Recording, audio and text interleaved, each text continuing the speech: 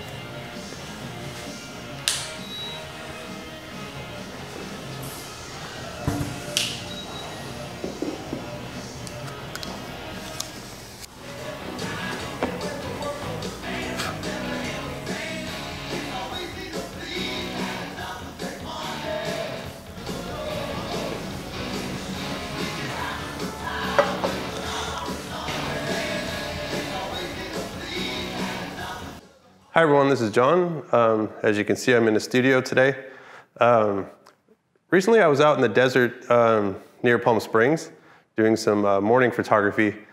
And um, nearby there's this place called Hadley's uh, Orchard. They sell date shakes that are, or that's what they're famous for. And they're excellent. So if you're ever in Morongo, Cabazon area, go to Hadley's. Um, so anyways, in their market, they have, you know, candies, souvenirs, that kind of stuff, but they also have this cola soda section with independent sodas, and I was uh, just browsing to see what they had, and I came across Kiss Cola, and they had Kiss Root Beer, Kiss Cherry Cola, so I was like, I'm a Kiss fan, I think. I am. So I thought, you know, it'd be fun to just, you know, try the soda, but as I was walking out, I was like, you know, this would be cool to photograph.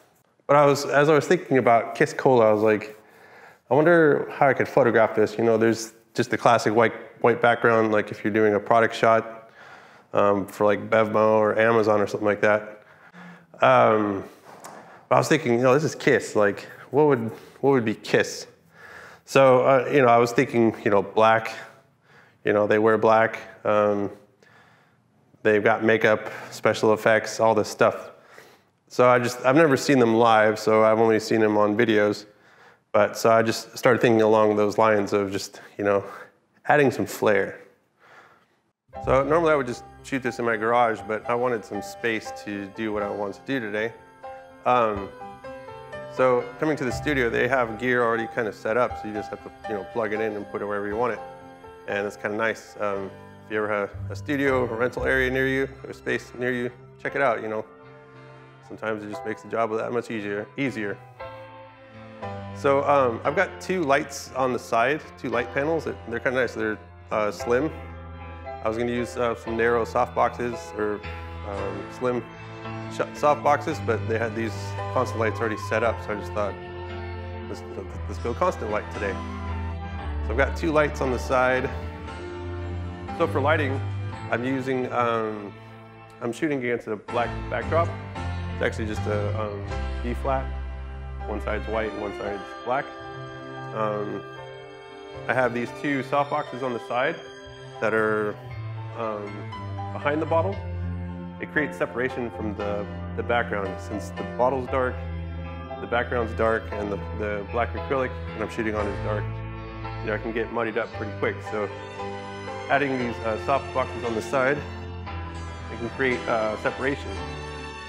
Um, what I got here, um, I was actually intending to use strobes, um, but they already had these uh, lights set up, so it's kind of nice. So you can kind of see what you get while, I'm, while you're setting up. And then also for the label on the bottle, um, I have another soft box behind this silk here. And the reason I'm using uh, silk is because it softens uh, the glare on the label itself. Now, um, there comes a challenge with that because it still has a little bit of a glare. So I'm going to use a polarizer filter for that. So all in all, I'm going to have two shots that I'm working with, or maybe three, maybe. Um, one shot um, just for the highlights and the, the, the, the drink, the liquid. Um, and then uh, a, the front softbox for, for the label. Um, and then I'll merge them in Photoshop. And I might have one more trick. So for the camera, um, I'm using a 100 millimeter macro lens.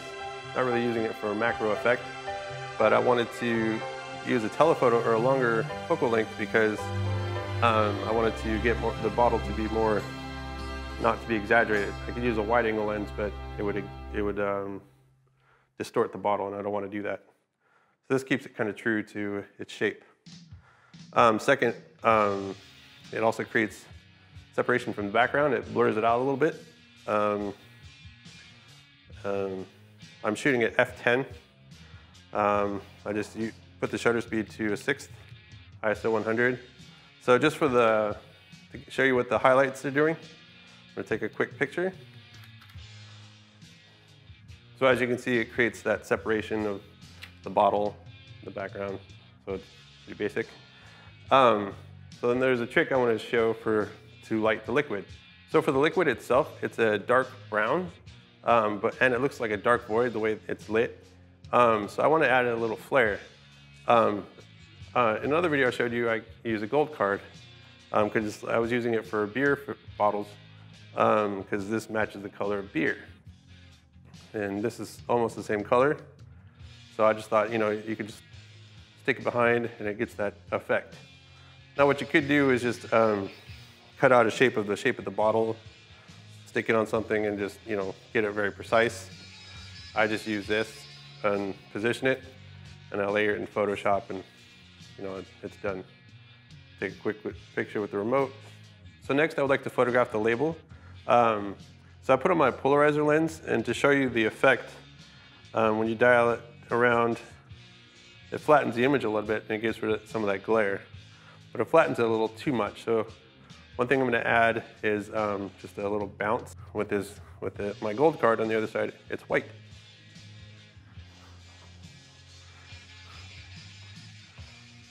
So also with the label, I want to add in a uh, white balance card.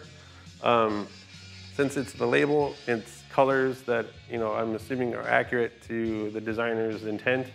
Um, it's a, a classic album cover, so I'm just going to put it in front of it, take a quick shot, And then in Lightroom, I can just uh, white balance the gray, and it should be accurate. And then I'm ready to take a picture of the label itself. And then for one more element of flair, I added a Kiss guitar pick. Um, I just thought it'd be cool. Um, there's this stuff called sticky tack, white sticky tack. Um, you, it's like clay. Um, you can mold it to any shape or um, size, and it'll you can just stick it on any surface, and it'll hold up a lot of items in a precise way. And what's cool about it, it doesn't leave any residue or um, get stuck. It, it, comes right off. One more element to add um, is um, some water uh, mixed with glycerin. Make it look cold.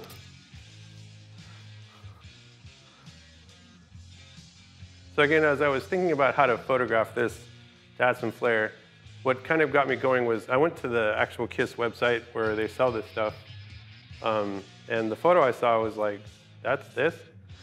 it's just someone holding it in their hand. And I was like, what do you do? I was like, that's not Kiss. That's, I don't know. No offense, Kiss, but come on. Anyway, so I was just thinking, you know, what's a Kiss show? Um, I've never been to one, just seen them online or videos. I, the first Kiss album I bought was Alive. And you look at the album cover, it just looks badass, like, this is cool. And so I just thought, you know, what would be Kiss? So like, I was thinking Ace Frehley, um, he's got fire coming out of his guitar or smoke. Um, now I can't use smoke in here, so I was trying to think what else could I use? Maybe a sparkler, but I was like, no, that's kind of boring. So I thought, how about a flame? You know, they have songs like Hotter Than Hell, uh, Lick It Up, um, that kind of stuff. So I thought, you know, let's do some fire. cool. fire, fire. Not knowing how to do that in a safe way, I, you know, went to the internet, found some ways, just good old alcohol, rubbing alcohol, and a lighter. Um, it burns itself out. Um, it's safe, you know, it doesn't burn what it's in. Without further ado, um, I'm gonna do that for one more shot. It's nice with the remote, I can fire remotely and be right here to control the fire. I have something to cover it it starts to get a little crazy. So my lighter's falling apart. Just add some alcohol to the pan. Step out of the way.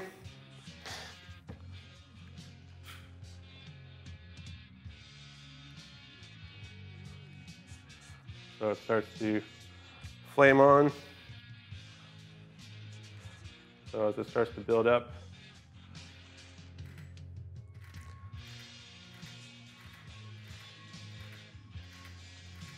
and I cover it, stop the fire, and it's out. Then for the final image, I bring everything into Lightroom and then to Photoshop to mask everything together in layers uh, with the bottle, um, the label, the liquid, and finally the fire.